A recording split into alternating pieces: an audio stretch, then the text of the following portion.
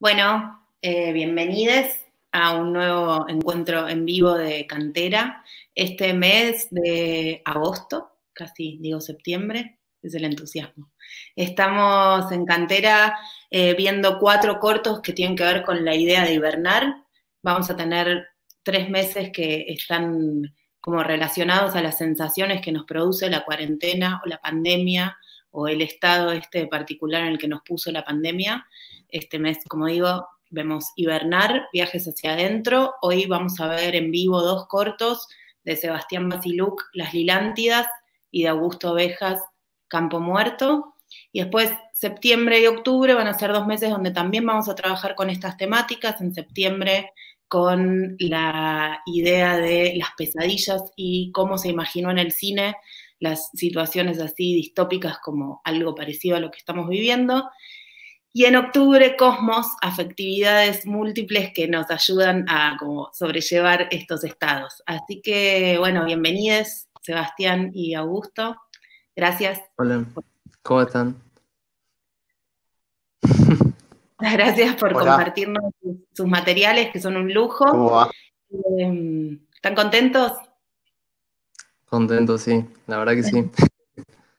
Sí, Siempre está bueno que se vea el, corto y que no. Los cortometrajes nunca tienen muchos lugares para mostrarse, así que está buenísimo que esté, esté acá.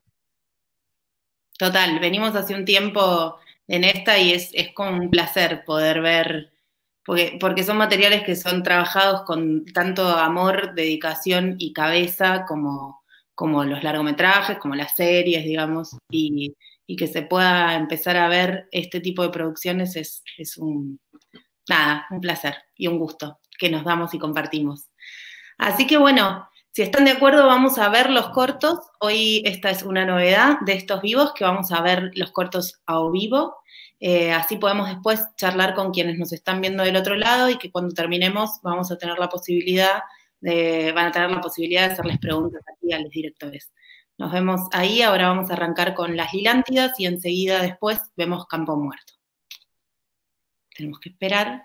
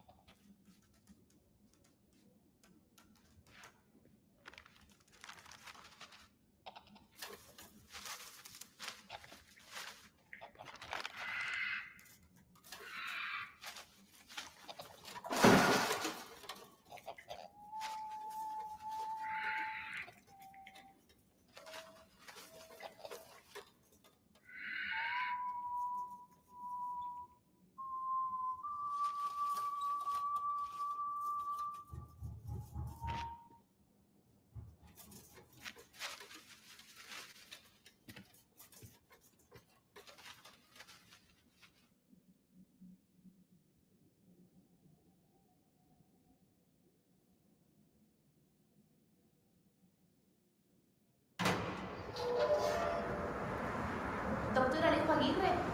Sí. Adelante. Pase. Inés Maroni, ¿se acuerda? Sí. Eh, cuidado el escalón. Sí. Qué difícil que está afuera.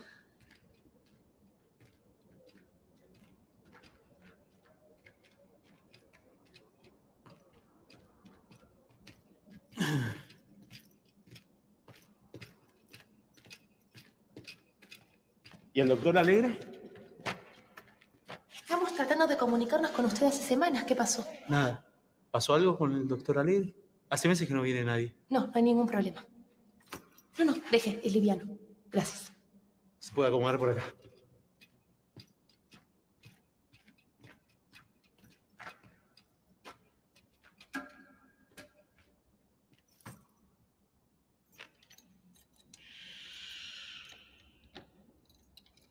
¿Están todas vivas? Sí, les acabo de dar de comer. Venga.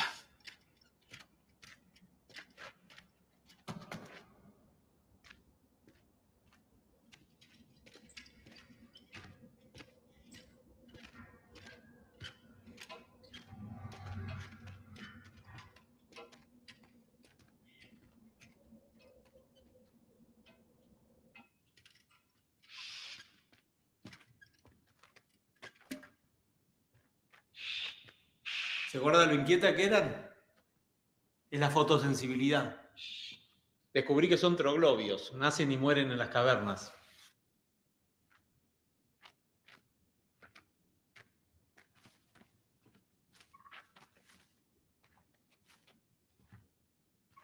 Saqué el entramado de cables y el teléfono, eso también sirvió. Los sonidos que ondulan en frecuencias bajas las alteran. Mire esto.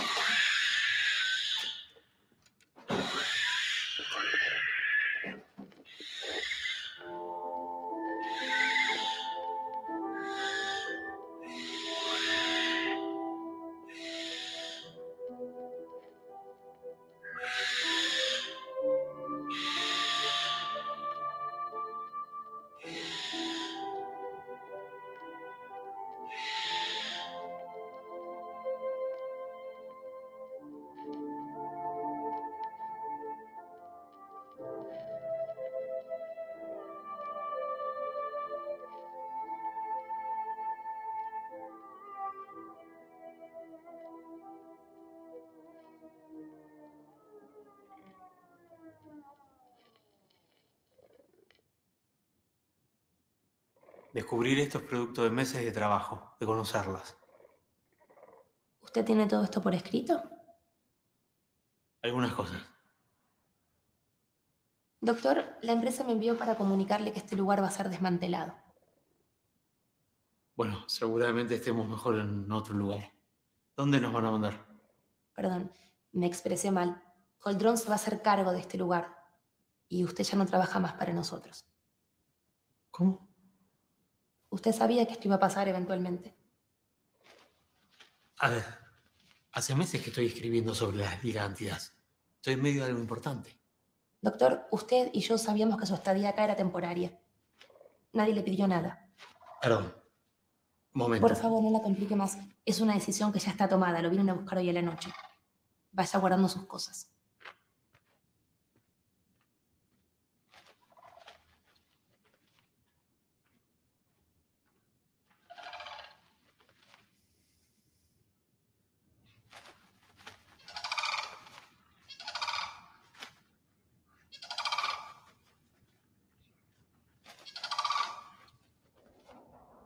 Sí, sí. Yo creo que hay 150 obreros entran sin inconveniente.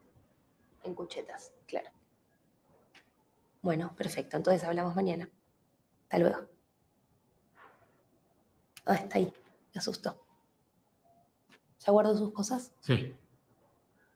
¿Qué tiene ahí? Estos son mis apuntes sobre las gigántidas. ¿Los quiere ver?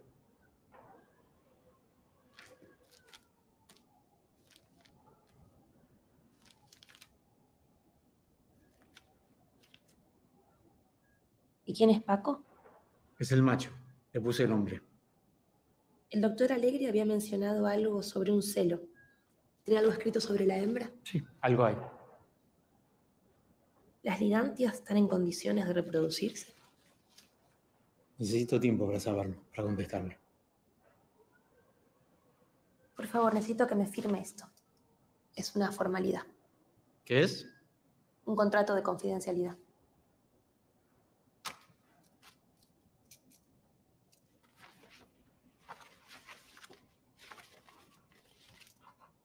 ¿Quién se va a hacer cargo de todo esto? ¿El doctor Alegre? Al doctor Alegre lo trasladaron. Va a venir un doctor de la capital.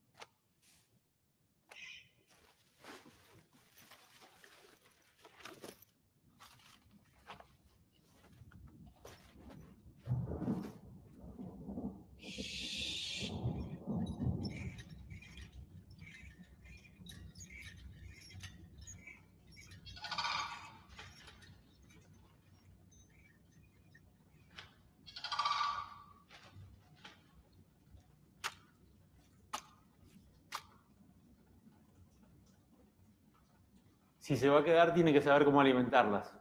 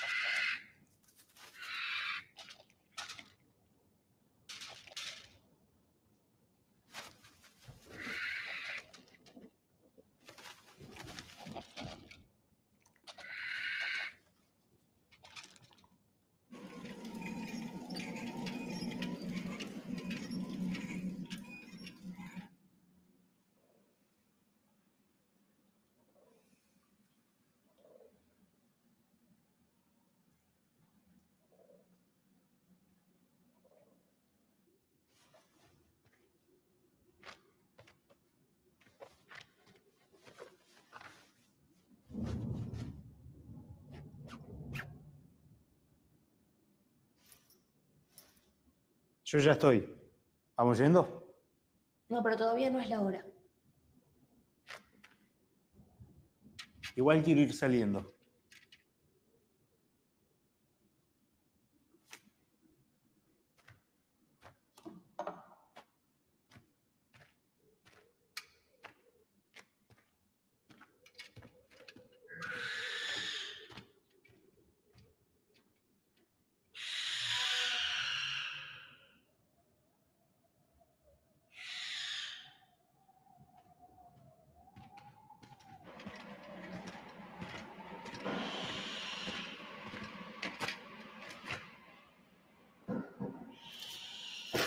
¿Qué haces? ¿A dónde vas?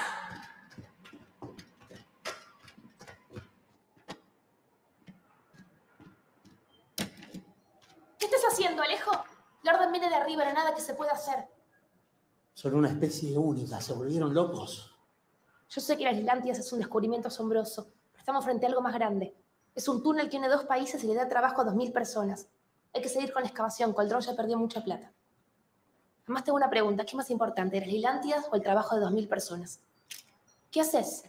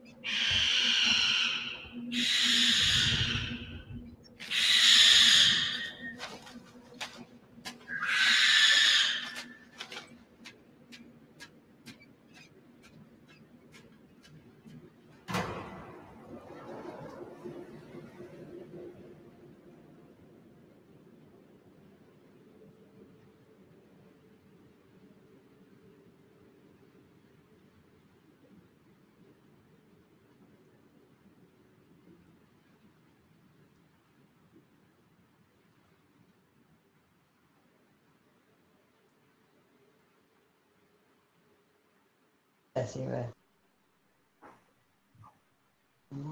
Está bien el otro Qué lástima. chico. Supongo que sí. Qué lástima de que Bueno. Acá hemos visto Bueno, las. Atlántidas. Eh, bueno, nos quedamos así, muy conmovides. Eh, y ahora, después de un momentito de respiro, para todos quienes les están viendo, que les cuento que es un montón de gente, Em, vamos a dar paso a ver Campo Muerto. Y después de este segundo corto que vamos a proyectar en vivo, nos vamos a reunir acá de nuevo para conversar con Sebastián y Augusto, les directores. Así que allá vamos.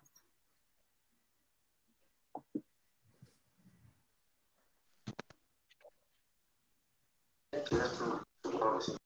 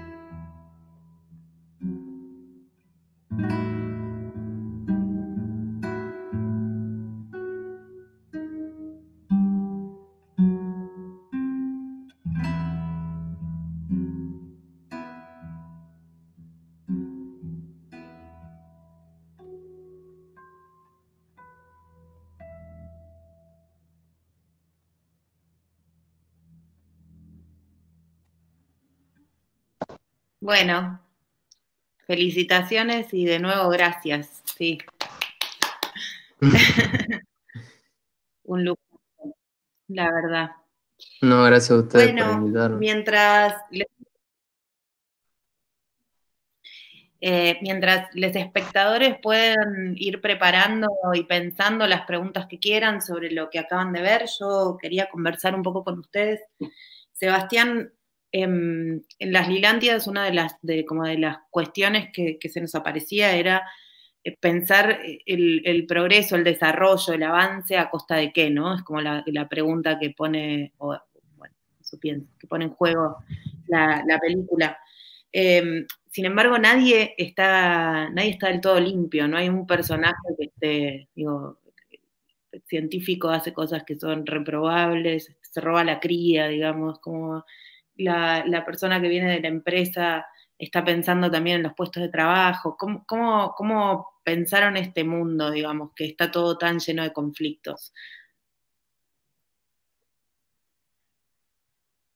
Eh, sí, eh, creo que fue surgiendo con el guion. Fuimos armando un poco la historia pensando en, en, eh, hacia dónde eh, los dos, los personajes involucrados eh, comenzaban a interactuar. Eh, teníamos claro algo que pasaba, que era este, este Alejo, especie de obstáculo, eh, último, eh, digamos, eh, última línea de defensa de estos animales. Y después también pensábamos en qué pasaba con, con el conflicto de, esta, de este personaje, de esta especie de jefa, de, de, de por así decirlo, que no era tan así tampoco. Y, ahí creo que surgió en nosotros mismos pensar eh, la idea de que, bueno, somos todo un poco parte de, de, de esta, esta, sociedad y, de la evolución hacia dónde va. Digo, eh, estaban, estaban estos, eh, esta construcción de, esta, de esta vía importante entre dos países, mucho trabajo, pero a costa de qué? Eh, a costa de, cualquier cosa y, de incluso terminar con la vida de estos seres. Y estaba lejos, como vos decís también, eh, eh, a, a, como de lugar, sin importarle nada, eh, casi que rompiendo o, quitándose de encima a cualquiera que, se ponga en su camino. Digo, es como una guerra de, de, nosotros mismos, del hombre con el hombre mismo, de alguna forma, me parecía. Creo que es, eso hizo el, el guion cuando pusimos ese, ese punto ahí más de equilibrio en el que ninguno sea realmente un malo malo, que creemos que en el fondo no, no es así, ni uno un, totalmente un santo o un salvador, digamos. Eso es un poco lo que pasó. Y el corto tiene algunos años ya. Eh, ¿Se te plantea alguna relectura en este contexto? bueno, eso cuando lo hablamos por primera vez empecé a pensar en, esto que me decías vos, digo, del confinamiento y estar viéndonos de repente encerrados y, ver, no sé, eh, sentir como una especie de pausa hacia, hacia, hacia todo, hacia la naturaleza, hacia animales, que, que empezaron a aparecer en, las calles y demás, y, hasta, y hacia nosotros mismos, eh, creo que una especie de pausa y de paz, que, bueno, obviamente duró quizás el, principio de todo esto, después ya se tornó insoportable, obviamente, para cualquiera eh, estar estático, ¿no? Pero eh, creo que cuando, cuando linkeaste este corto con, con hibernar, con, con, meterse hacia adentro, eh, claro, un poco Alejo, eh, era, éramos nosotros ahora medio metidos en nuestros departamentos y, viendo cómo salvar lo, que, lo, que nos pasa, o, lo bueno de nosotros, o, lo que nos gusta, o lo que queremos. y creo que los, los, puntos son un poco eso, me parece, ¿no? Como no sé, la metáfora de estos animales extraños eh, es un poco cuidar eso, ¿no? Lo, no sé, lo que nos importa. Bien. Bueno, vos, Augusto, viste este corto casi por primera vez, ¿no? Eh, no, yo ya lo había visto antes. Este, que la verdad que le había encontrado puntos eh, en común, digamos, también tratando de relacionarlo un poco con, con, los dos cortos que se presentan juntos, digamos. Eh, y algo que había encontrado que me había llamado la atención era el tema este de que él es un personaje que está solo, eh, en medio de la nada, cierto, ciertamente similares como el tema de, de, que afuera hay como un mundo muy hostil, como que hay, hay viento, hay, hay quilombo de afuera, claramente se, nota que en los dos cortos hay, hay cosas complicadas afuera. Eh, pero algo que me había llamado fuertemente la atención era el tema de que de que es como este científico que está, está encerrado y tiene un proyecto, digamos, tiene su, su, su proyecto son las, las lidántidas y que está volcado en eso porque claramente es lo, es lo que lo mantiene en cierto punto cuerdo y lo mantiene, este, lo mantiene centrado, digamos, y de repente viene esta, esta chica que le dice, no, mira, acá, acá nos seguimos eh, fíjate cómo te arreglas vos y, realmente es como un punto en el que eh, lo estoy resumiendo a, simple, eh, a simple términos, pero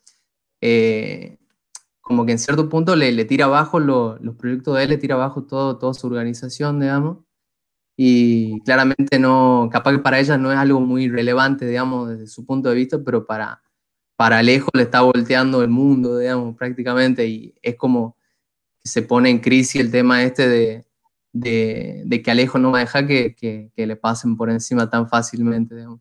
Y para mí eso, eso era, era una reacción que, que, estaba dada también por, por cómo, cómo, estaba planteada la situación, digamos, de él en este espacio encerrado.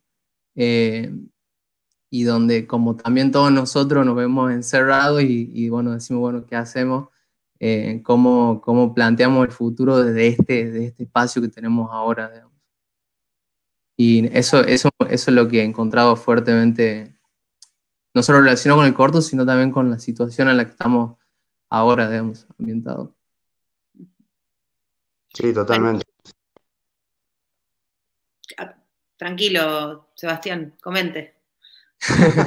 no, digo que me encanta lo que dice porque sí, que claramente se, eh, es el peligro eh, a, que se derrumbe su mundo, eh, claro, donde haya puesto absolutamente todo.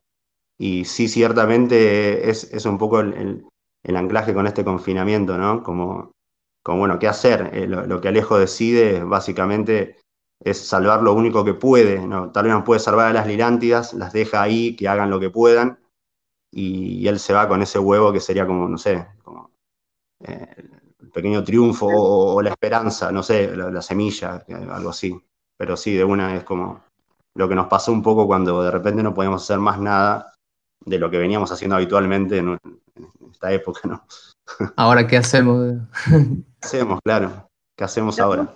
Los dos cortos tienen, bueno, digo, es- eh, están corridos del realismo, ¿no? Plantean situaciones como que no, no son exactamente el mundo como lo vemos.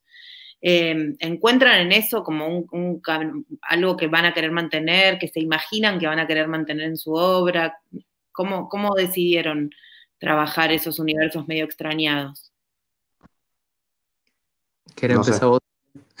No, no, dale, dale, dale, dale. Dale, empezá vos ahora. Eh, no, yo creo que, que en cierto punto, yo creo que las dos historias como que tienen, tienen ambiente, espacio, eh, un poco más de Sebastián como que lo, lo relaciono con un punto de ciencia ficción, no solo por el tema de, de- del espacio en el que se encuentra, que tranquilamente podría ser, no sé, yo me imaginaba, bueno, puede ser capaz un espacio en, en la Antártida, algo así, eh, como un espacio hostil, digamos, es, puntualmente un espacio hostil del, del cual el personaje no puede salir eh, o se ve limitado a, a cierto lugar, digamos.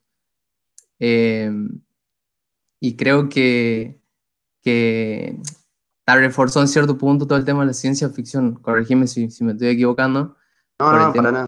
de Cualdrón y, y todo, toda la organización, como de, de, de la estructura esta de, de, de la institución, digamos, que delimita un poco cómo se organiza el mundo y cuáles son las pautas sobre, sobre las cuales están, están limitados, digamos. Eh, pero bueno, eso, eso como para pensar un poco, yo creo que, que en mi caso eh, eh, no, no, no era un, un punto primordial el tema de, de, de pensarlo como algo, algo no realista, digamos, sino simplemente creo que el, el- el hecho de hacer animación te, te libera de, de muchas cosas, digamos, en el sentido de que puedes pensar cualquier espacio, puedes pensar cualquier situación y se puede, se puede representar tranquilamente por el tema de que, de que no hay limitaciones físicas, o sea, está bien, yo puedo armar un- una casa en medio de- del desierto, no sé, y, y te puedo hacer más o menos el mismo corto, digamos, el tema es que, que, que requiere un montón de cosas más y creo que, que, que la gracia, bueno, termina siendo, puede plasmarlo como se imagina uno en, en animación, digamos, la- las, las cosas físicas no tienen la- las limitaciones eh, de lo real tampoco. Eh, que si bien, bueno, se puede trabajar con, con efectos especiales, todo lo demás, creo que, que en este caso, bueno, resultó mucho más simple hacerlo de este modo. Pero puntualmente yo no me, no me limitaría a, a hablar de, de que me gustaría ir por ese lado. A mí personalmente me gusta más lo que es el realismo y, y- y jugar también con, con elementos que, que no pertenecen a, a lo real también. Pero bueno, eso, eso por, por mi lado. Eh, Bien. a mí, ah, Sí, dale, dale. no, no, que a mí me pasa que, que, bueno, no, no solo por las Islandias, sino por lo que pienso para, para, para el relato que viene, para, para el largo para lo, o para lo que sea, que esa línea, em, eh, romper un poco esa línea de, de- de lo real y de lo fantástico me, es donde más me gusta desarrollar eh, cualquier historia, como que, que esté presente la posibilidad de un clima y de, de un, de, una, de, una, de un escenario y de, y de una lógica interna en el relato que, que me permita romper un poco esas barreras. Eh, en ese sentido, con, con las Lilántidas era un poco eso, era que apareciera este, este, este personaje eh, que nunca se va a ver y tratar de hacerlo verosímil y, darle como eh, eh, eso, valor real dentro del relato y hacerlo casi como ahí, en un, en un realismo en, donde se, se- va y se viene de, de- de esa parte que uno cree o no cree de, de lo que pasa. Y en ese sentido me parece que también, digo, me gusta eso de- del corto de, de August, de, de- ese clima que parece en un comienzo eh, el, Eternauta y, y de repente poder, poder, que, tal vez sea simplemente una, una tormenta de, viento, pero bueno, que parece un lugar que no, no sé, del más allá también, ¿no? Medio mezcla, aunque sea real. Y es, me gusta eso, ese, ese juego que hay por ahí tal vez. Yo con la, con la, con me doy cuenta de eso de que, de que bueno, están, están construidas únicamente con el sonido. Este, te da como una pauta de, de, de pájaro, claramente te da pauta de pájaro, eh, pero como que no sabe qué forma tiene, ¿me entendés? Como que te imaginas, bueno, es como, como ñandú, no sé, yo me imagino así tipo un ñandú, digamos, pero digo, ¿qué, qué, qué bicho es? Digamos? Como que empezar a recopilar bichos y, y, te armas uno propio también, eso tiene, tiene interesante que no sabe qué, digamos, y el sonido te, te, te da la pauta de, de, de, un detalle de que, que le pertenece a, a ese bicho en especial, digamos. Sí, tal cual. Totalmente. Sí, eh, bueno, y algo parecido pasa en Campo Muerto con, con la pregunta de qué quién o, o, qué clase de cosa es esa que está afuera acechando, ¿no? O sea, te hace como de manera entusiasta producir imaginación como espectador y espectadora, ¿no? Como, bueno, lo que no está lo, lo, lo construyo y es en muy poquito tiempo y se nos arma a todos. Sería divertido dibujar unas lilántidas o un... Sí, ¿no? Bueno, que nadie, nadie te pasó una igual, digamos, todos te van a hacer. claro. De hecho, las veces que lo pasamos, cuando la gente opinaba, era muy divertido ver las descripciones de cómo se la imaginaban. O sea, desde, desde un grillo mutante hasta eh, una una, un yandú, si había como mucha mezcla de cosas. Bueno, y, Augusto, contanos de Campo Muerto un poco. También hay una cosa de cómo se resignifica con el contexto, supongo, ¿no? Esta, esto que en el exterior está el peligro, eh, pero a la vez forma parte de, UNE. ¿Cómo, cómo, cómo pensaste la premisa, el corto? ¿Qué, qué te imaginaste al, al, germinarlo? Y a mí me pasaba con, con este corto que, bueno, yo nunca había hecho animación, digamos de hecho, yo vengo de, de ficción, ¿no? Me metió por, porque estaba abierta la puerta y entré, digamos. Eh, y justo, justo, justo enganchó con, con un artista plástico que, que, es un capo, que es el que ha hecho todos los muñecos y, y, todos los decorados, que es Nacho Altamirano. Eh, y nos hemos puesto como, como trabajo hacerlo al, corto. Y la verdad era una idea que venía porque yo había hecho un corto de ficción antes y, y realmente siento que no, no, había podido plasmar lo que quería plasmar, eh, que era un poco una, una, historia cercana, digamos, de, de, de parientes, este, que, que, nada, que era una, una historia como de, de, realmente un entorno de soledad y entorno de, de, de encontrarse de, repente con, con historias pasadas y, y me pareció muy, muy interesante, digamos, y por ese lado un poco lo, lo he construido y he pensado el, el, espacio. Y me parece que, que se relaciona mucho con, con, la situación actual, más que nada por el tema del encierro, digamos. Eh, y que también de repente, no sé, hablando y, y, y por, por, experiencia propia también, creo que, que llega un punto en que está bien, te puedes distraer con el celular, te puedes distraer con, con lo que sea, te mira 20 series el tema es que en cierto punto empezás a plantear cosas de vos mismo y cosas eh, del pasado, cosas que, que, te hacen sentir mal o lo que sea. Y, y en cierto punto llega, llega un momento en que, que, no podés evitarlo de por sí, digamos. Y creo que, que, el corto también toca ese tema de que, de que por más que trates de evitar ciertos temas, trates de evitar ciertas cosas, en cierto punto te van a terminar encontrando a vos, digamos. Eh, y creo que un poco gira sobre eso, más allá de que, de que, de que se pueda tener varias lecturas del corto, porque para mí tiene un par de lecturas, digamos. Eh, me pasó cosa rara de que, de que ciertas personas me han dicho que pensaban eh, que esa persona era eh, la muerte o que esa persona era un pariente o que esa persona, no sé, y, y de repente un día me doy cuenta que, que, que, era llamativo porque uno me ha dicho, yo lo relaciono, yo creo que ese es el hermano, me dice. Digo, ah, mira, no, no lo había pensado, digamos, y yo me doy cuenta en ese momento de que, de que él lo relacionó con su hermano porque tiene un hermano, yo en mi caso no tengo un hermano, no lo, no relaciono con mi hermano porque no tengo. El tema es que él en su caso lo relacionó con su hermano porque quizás tenía algo con el hermano, tenía un problema, lo que sea, pero nada, me pareció interesante verlo de ese lado. Sí, a mí me, gustó, me gustó muchísimo lo, que, lo que generó, lo que generaste a través de, de que un solo personaje eh, con esos tiempos, esa cadencia, vaya eh, vaya relatando su intimidad y su soledad.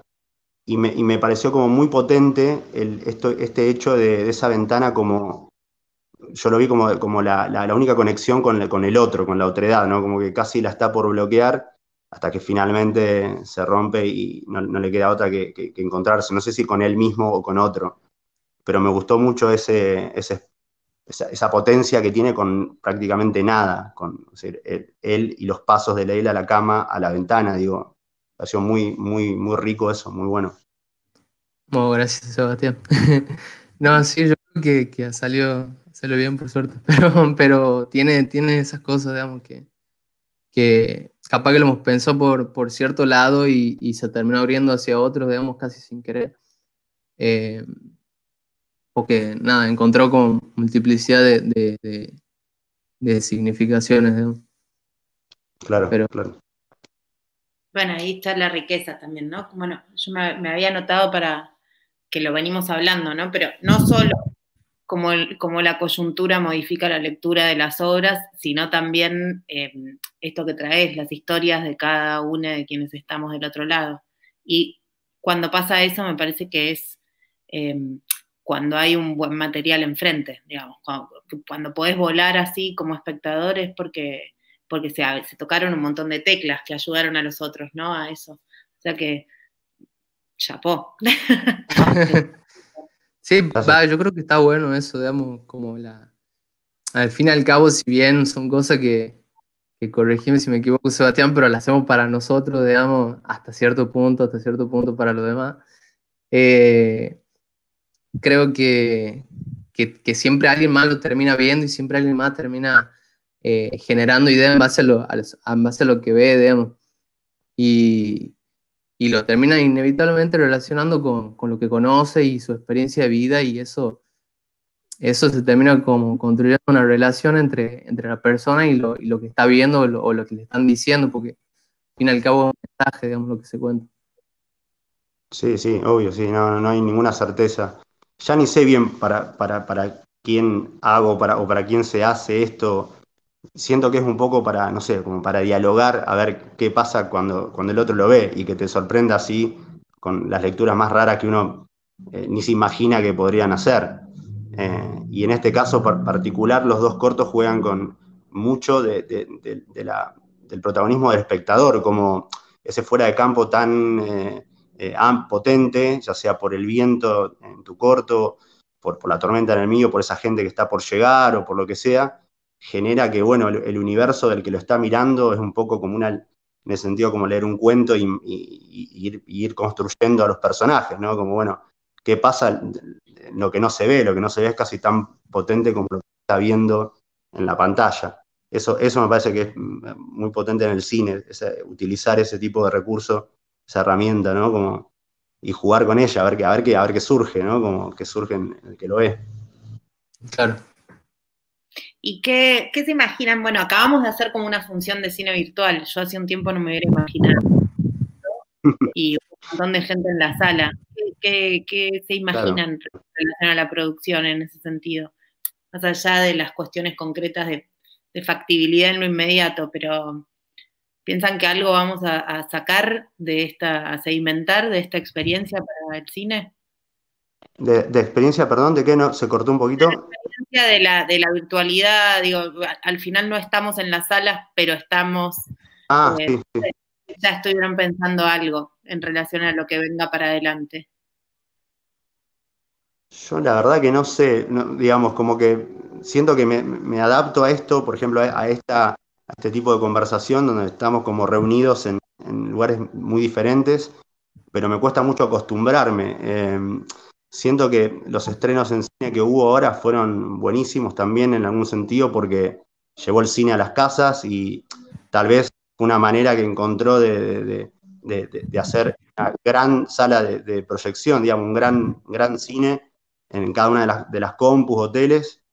Pero bueno, qué sé yo, yo me encanta ir, a, ir a la butaca de, la sala y, como que anhelo que ojalá eso vuelva a suceder. Eh, no sé cómo, no sé de qué forma, pero, pero bueno, creo que, digo, que una cosa no, no quita la otra, tal vez adaptarse a esto y, encontrar nuevas formas de, de seguir haciendo esas funciones, digamos, que como un cine gigante, ¿no? De, de- muchas casas. Y después me encantaría que vuelva al cine también, ir, a, ir, al- ir a la proyección, digamos. Es que también está como eso de nostalgia de la experiencia de ir al cine, digamos, que algo, algo que está bueno, digamos, que realmente es, es toda una experiencia ir al cine, eh, te sentás, está, está el viejo roncando a la izquierda, está, es como que tiene su momento que, que, que no encontrás en tu casa, digamos, la, la, la verdad que, que incluso te diría que me, me gusta más el tema de, de en vivo que, el streaming u otra forma, porque también tiene eso de que, va, no sé, por lo menos a mí me pasa de que empiezo a ver algo y de repente eh, puedo poner pausa y pongo pausa, me voy a hacer algo, después vuelvo, porque a veces, a veces no puedes estar viendo o quieres ver algo y, y, y si tienes la libertad de poner pausa, le pones pausa. En cine no le puedes poner ningún tipo de pausa. Creo que es una diferencia eh, muy importante en, en el tema este, pero claramente creo que tampoco nos podemos limitar a decir eh, que, que el verdadero cine es en el cine. O sea, creo que, que no, no es lo que hayamos dicho, ¿no? Pero creo que hay mucho discurso de eso. Eh, porque siempre, siempre, siempre va a haber modificaciones y, y- siempre va a estar la experiencia de ir al cine, digamos, nunca se va a descartar porque es una experiencia en sí misma. Pero me parece valioso también encontrar nuevos modos de, de poder, de poder ver, eh, ver obras de cine en, en la casa o en el celular o donde sea, porque al fin y al cabo la, la idea es, es verlo, digamos. Totalmente. Bueno. Sí, sí. sí. Estamos medio cerca de cerrar, así que no sé si quieren decir algo más, compartir, o si quienes están del otro lado quieren decir algo, es ahora o hasta otra. No, o sea, a mí, a mí lo que me sale es primero como eh, esta, esta sensación de, de- de- alegría de poder proyectar y compartir el corto, que, bueno, que para los cortos sobre todo siempre la, la vía de, de- circulación o de recorrido no es mucha, no es muy grande, y el trabajo que llevan est- estos proyectos y que nos llevó a nosotros, a los que hicimos esto, fue prácticamente un año de trabajo, eh, el trabajo que tuvo arte, sonido, eh, montaje, fotografía, producción, eh, es decir, to- todos ahí como en un, en- en- en- embarcados en eso y, y- y en estar todo el tiempo enriqueciendo, ¿no? Ese, ese laburo que se vea para mí es como, es fantástico de- en cualquier manera que se dé, así que está muy agradecido por eso. No, Bueno. seguro. Y pasa bueno que, que como vos decís, digamos, eh, cuesta realmente conseguir espacio para mostrar más allá de, de los festivales y, los eventos, digamos, que incluso ahora están, están medio cortos, ahora no cortos. Hay pocos, digamos, realmente se han cancelado varios, ha sido todo un tema. Pero nada, la verdad que, que excelente la, la plataforma y, y cantera. Nada, muy bien, la verdad, la propuesta. Bueno, bueno, Augusto, Sebastián, muchas gracias. Le contamos a todo el mundo que los cortos van a seguir disponibles toda esta semana en el canal de YouTube del CCK, para quienes no lo pudieron ver hoy, los puedan ver. Y el domingo que viene a las 19 vamos a reunirnos así como hoy, a proyectar esta, esta herida cuando no cicatriz- cicatriza se vuelve piedra de Nicolás Turjansky y cómo me, me convertí en mujer de Sofía Ungar. Así que bueno, muchachada, muchísimas gracias. Eh, y bueno, nos despedimos hasta otra. Bueno, muchas Nada, gracias a muchas vos, gracias. a vos por todo.